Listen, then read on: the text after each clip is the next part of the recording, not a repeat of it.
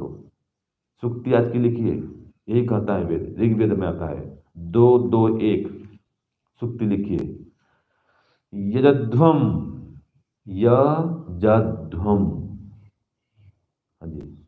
हविषा, तना, गिरा। यजध्वम हविषा, तना, गिरा, ये सुक्ति है। गिरा माने वाणी से, छोटे ही, गिरा। तना माने शरीर से हाँ दोनों सब अलग अलग है ये जो ध्वम अलग फिर हविषा अलग फिर तना अलग गिरा अलग तो हे मनुष्यों तुम लोग गिरा माने वाणी से तना माने ये तन से अर्थात शरीर से हविषा माने धन से भी ये जो ध्वम यज्ञ करो अर्थात परोपकार करो उसकी उपासना करो तो शरीर से, वाणी से, मन से, हर प्रकार से हम उसकी उपासना करें परोपकार करें, यज्ञ करें।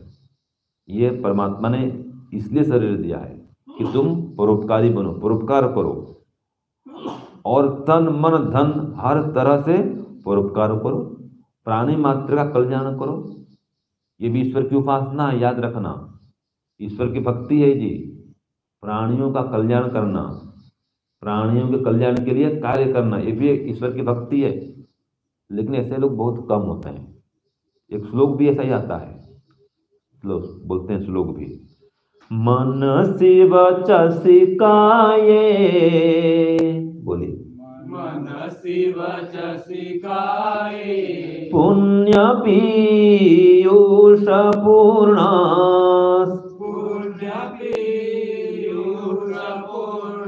त्रिभुवनमुपकार। त्रिभुवनमुपकार। श्रेणिभिः प्रीणयन्तः। श्रेणिभिः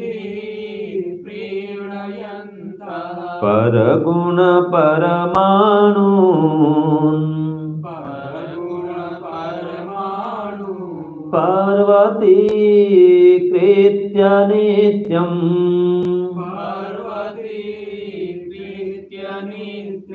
निजहृदि विकसन्तः विकसन्तः सन्ति सन्तः कियन्तः।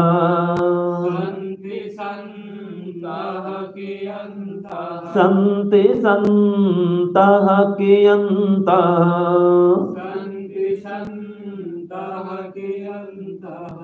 देखिए यहाँ संत कहा है? जो मन से वाणी से शरीर से सबका पुण्य करते हैं सबका कल्याण करते हैं वे संत हैं। लेकिन ऐसे संत कितने हैं संसार में? बहुत ही कम है। जो त्रिभुवन उपकार तीनों भुवनों के उपकार के लिए निरंतर प्रयत्नशील रहते हैं।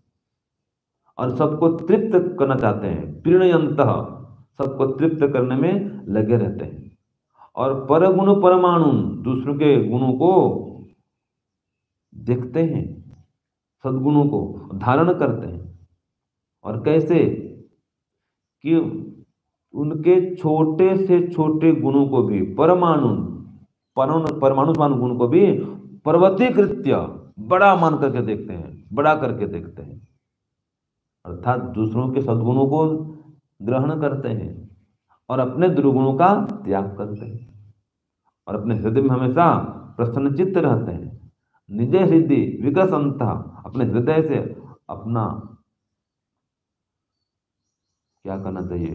नहीं, अपने हृदय में उनके गुणों को देख करके प्रसन्न होते हैं और उनके गुणों को धारण करते हैं और स्वयं प्रसन्न चित्त रहते हुए दूसरों को भी आनंदित करते हैं। ऐसे संत कितने हैं? बहुत ही कम है। जैसे उपकार में लगे रहते हैं, दूसरों के गुणों को धारण करते हैं, ग्रहण करते हैं, बहुत संसार में कम होते हैं। वास्तव में ऐसे लोग ही योगी कहलाते हैं। जो हमने पहले पढ़ा था ना, भव प्रत्ययो विदेह प्रकृति दया नाम योगी होते हैं। भव प्रत्यय योगी, विदेह योगी प्रकृति लय योगी। और जो कि अति शीघ्रता से समाधि को प्राप्त करते हैं। तीव्र संवेदनामासन्न।